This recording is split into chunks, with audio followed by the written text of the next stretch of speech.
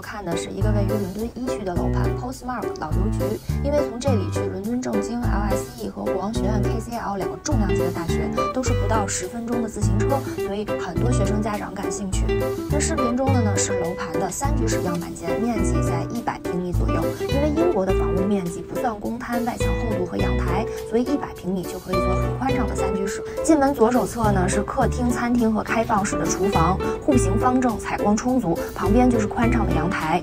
餐厅足可以容纳下六个人。厨房深蓝色和白色的撞色设计，简约大方，美观的同时，白色的面板非常好打理。厨房附带电磁炉、烤箱、冰箱等家电齐全。这是一间次卧，全屋落地窗的设计让房间非常的明亮。再看另一间卧室，三间卧室都是挨着的，朝向也是一样，看小区内的花园。现在我们来看主卧，主卧面积非常大，同样是落地窗的设计。主卧附带一个卫生间，卫生间内有淋浴、衣柜，内置灯带，设计非常的贴心。走出卧室，旁边是一个客用的卫生间，卫生间带有浴缸和花洒。卫生间浅色的设计简单大方，又显得非常明亮。柜子的设计也很有趣。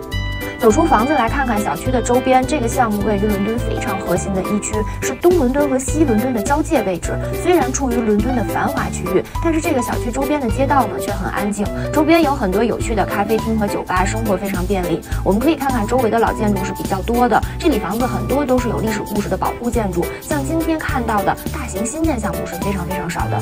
那除了开头说的 LSE、KCL 两个大学，这里到老金融城走路也只需要十分钟。现在。呢，带大家来到伦敦出名的钻石街，街道两边呢都是珠宝首饰店铺。